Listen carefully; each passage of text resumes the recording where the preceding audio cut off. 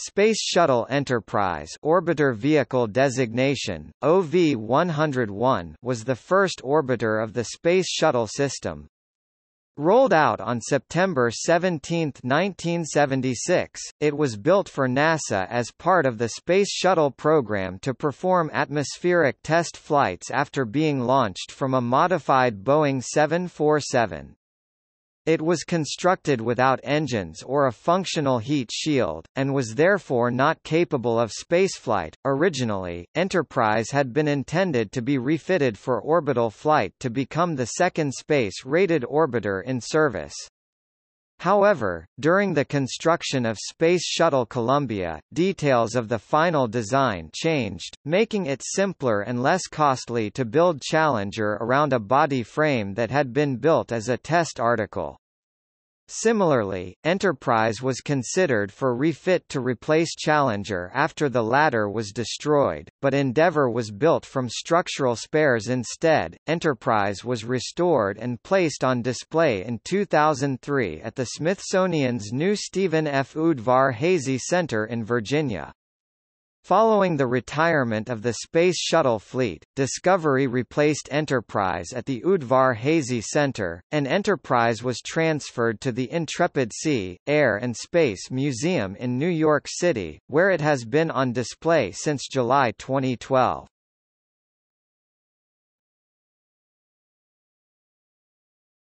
Topic: Differences between Enterprise and future shuttles. The design of Enterprise was not the same as that planned for Columbia, the first flight model, the aft fuselage was constructed differently, and it did not have the interfaces to mount OMS pods. A large number of subsystems—ranging from main engines to radar equipment, were not installed on Enterprise, but the capacity to add them in the future was retained, as NASA originally intended to refit the orbiter for spaceflight at the conclusion of its testing. Instead of a thermal protection system, its surface was primarily covered with simulated tiles made from polyurethane foam.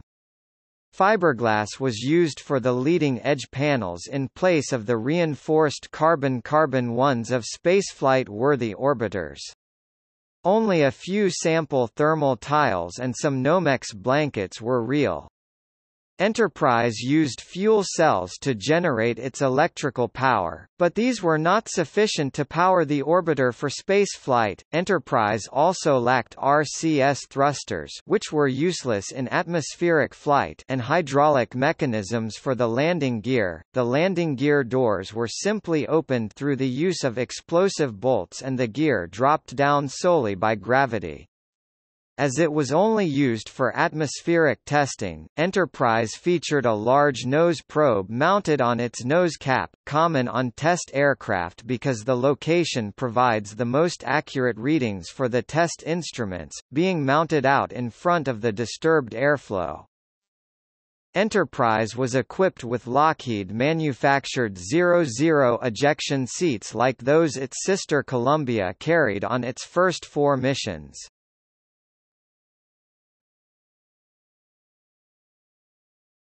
Topic: Construction milestones.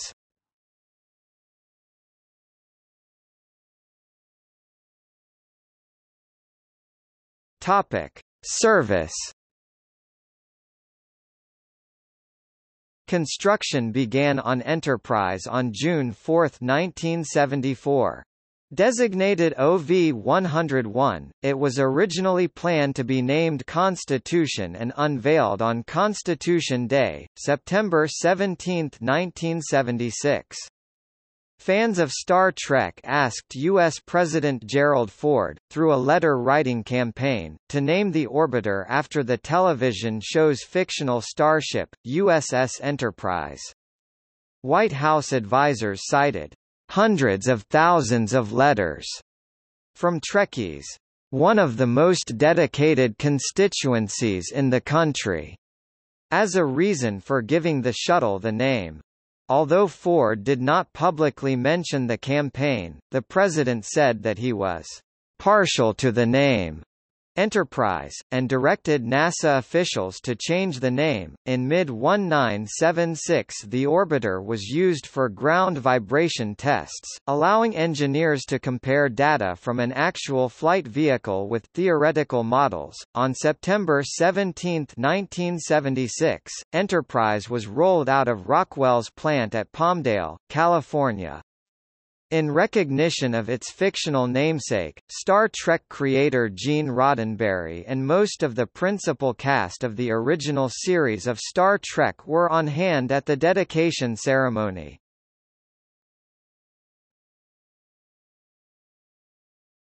Topic: Approach and landing tests (ALT).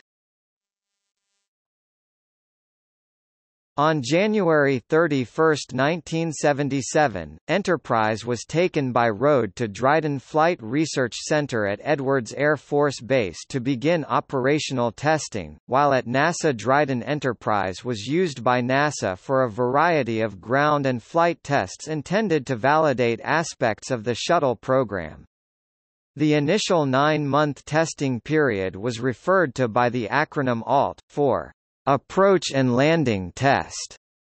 These tests included a maiden flight on February 18, 1977, atop a Boeing 747 shuttle carrier aircraft SCA to measure structural loads and ground handling and braking characteristics of the mated system. Ground tests of all orbiter subsystems were carried out to verify functionality prior to atmospheric flight. The mated Enterprise SCA combination was then subjected to five test flights with Enterprise unmanned and unactivated. The purpose of these test flights was to measure the flight characteristics of the mated combination, these tests were followed with three test flights with Enterprise manned to test the shuttle flight control systems. On August 12, 1977, Enterprise flew on its own for the first time. Enterprise underwent four more free flights where the craft separated from the SCA and was landed under astronaut control. These tests verified the flight characteristics of the orbiter design and were carried out under several aerodynamic and weight configurations. The first three flights were flown with a tailcone placed at the end of Enterprise's aft fuselage, which reduced drag and turbulence when mated to the SCA. The final two flights saw the tailcone removed and mock-up main engines installed. On the fifth and final glider flight, pilot-induced oscillation problems were revealed, which had to be addressed before the first orbital launch occurred.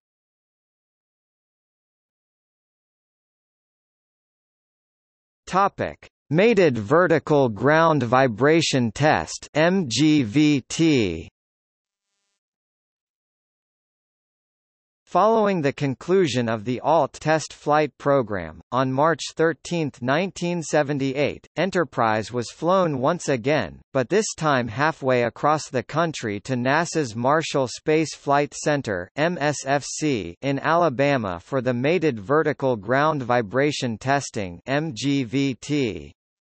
The orbiter was lifted up on a sling very similar to the one used at Kennedy Space Center and placed inside the Dynamic Test Stand building, and they're mated to the Vertical Mate Ground Vibration Test Tank VMGVTET, which in turn was attached to a set of inert solid rocket boosters SRB to form a complete shuttle launch stack, and marked the first time in the program's history that all Space Shuttle elements, an orbiter, an external tank ET, and two SRBs, were mated together.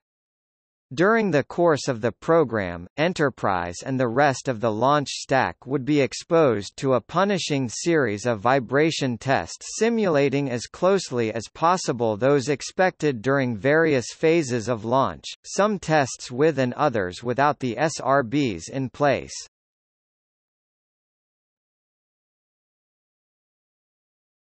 Topic: Planned preparations for spaceflight. At the conclusion of this testing, Enterprise was due to be taken back to Palmdale for retrofitting as a fully spaceflight-capable vehicle. Under this arrangement, Enterprise would be launched on its maiden spaceflight in July 1981 to launch a communications satellite and retrieve the Long-Duration Exposure Facility, then planned for a 1980 release on the first operational orbiter, Columbia. Afterwards, Enterprise would conduct two Spacelab missions. However, in the period between the rollout of Enterprise and the rollout of Columbia, a number of significant design changes had taken place, particularly with regard to the weight of the fuselage and wings. This meant that retrofitting the prototype would have been a much more expensive process than previously realized, involving the dismantling of the orbiter and the return of various structural sections to subcontractors across the country. As a consequence, NASA took the decision to convert an incomplete structural test article, numbered STA-099, which had been built to undergo a variety of stress tests, into a fully flight-worthy orbiter, which became Challenger. Planned orbital missions Topic. Preparation for STS-1 Following the MGVT program and with the decision to not use Enterprise for orbital missions, it was ferried on April 10, 1979, to KSC. By June 1979, it was again mated with an external tank and solid rocket boosters known as a boilerplate configuration and tested in a launch configuration at Kennedy Space Center Launch Pad 39A for a series of fit checks of the facilities there. Topic retirement With the completion of critical testing, Enterprise was returned to Rockwell's plant in Palmdale in October 1979 and was partially disassembled to allow certain components to be reused in other shuttles. After this period, Enterprise was returned to NASA's Dryden Flight Research Facility in September 1981. During 1983 and 1984, Enterprise underwent an international tour visiting France, Germany, Italy, the United Kingdom, Canada, and the American states of California, Alabama, and Louisiana during the 1984 Louisiana World Exposition. It was also used to fit check the never-used shuttle launch pad at Vandenberg AFB, California, on November 18, 1985, Enterprise was ferried to Washington, D.C., where it became property of the Smithsonian Institution. In December 2011 it was moved again and became the property of the Intrepid Sea, Air and Space Museum in New York City.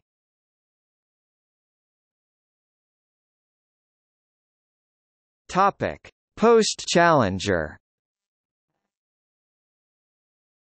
After the Challenger disaster, NASA considered using Enterprise as a replacement. Refitting the shuttle with all of the necessary equipment for it to be used in space was considered, but NASA decided to use spares constructed at the same time as Discovery and Atlantis to build Endeavour.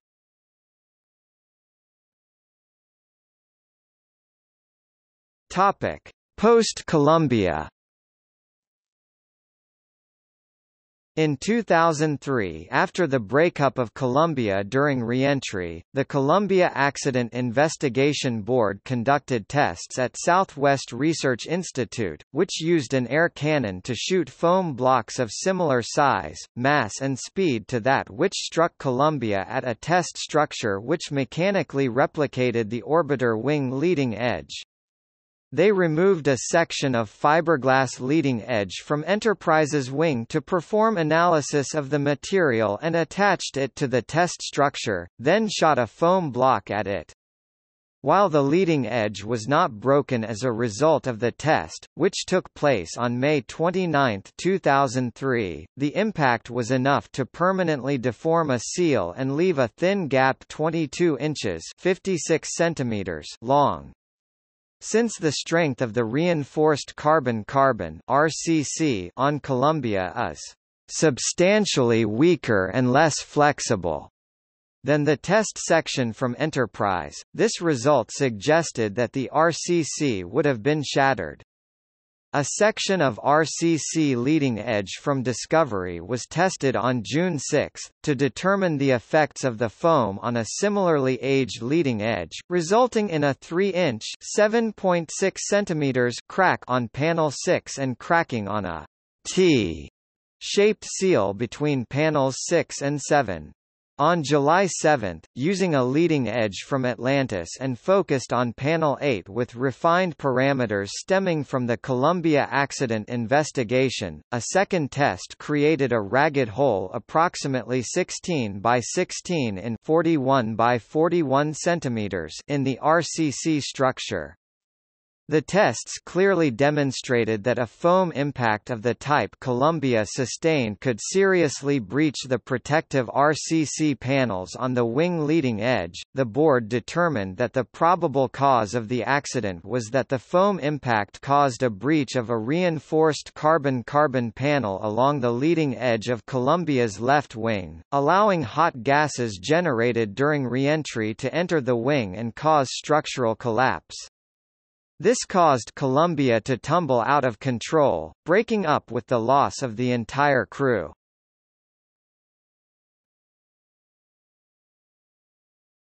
Topic: Museum exhibit.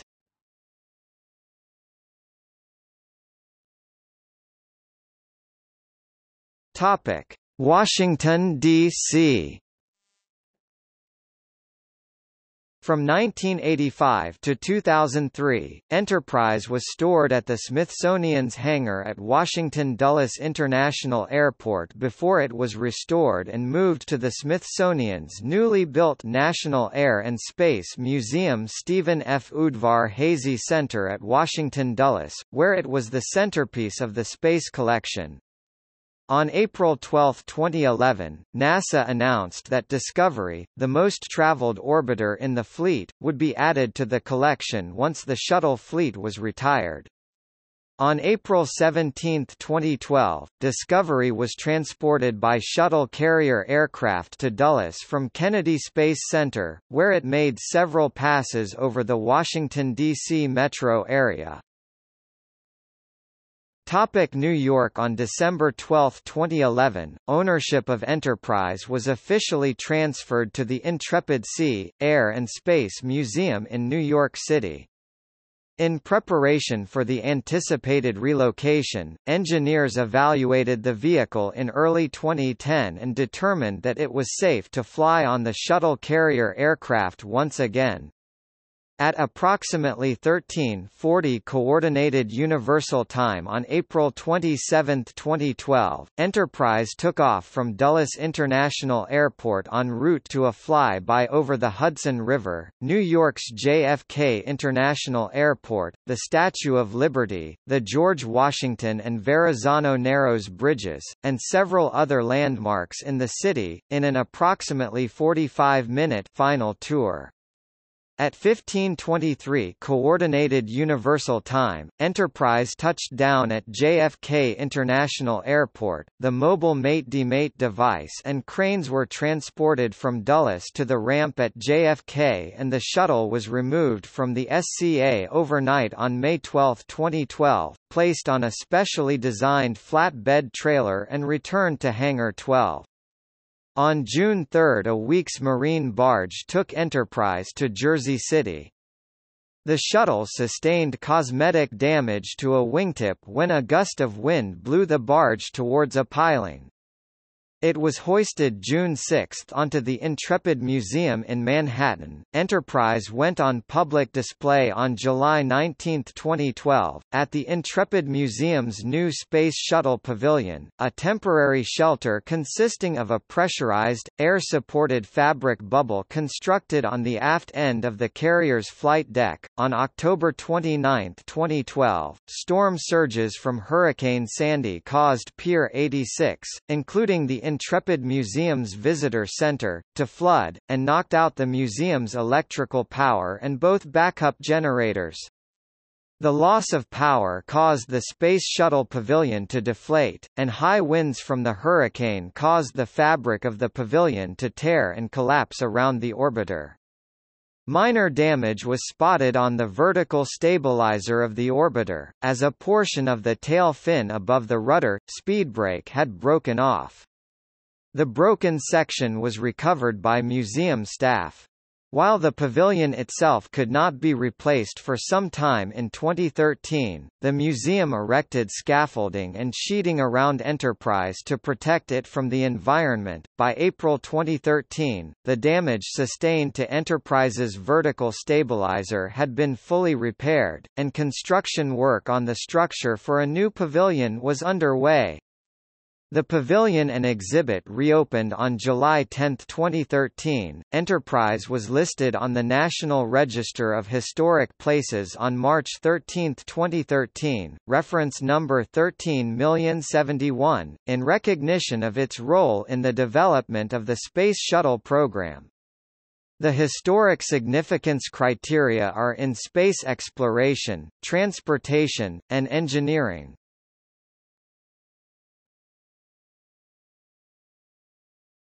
Topic. Gallery.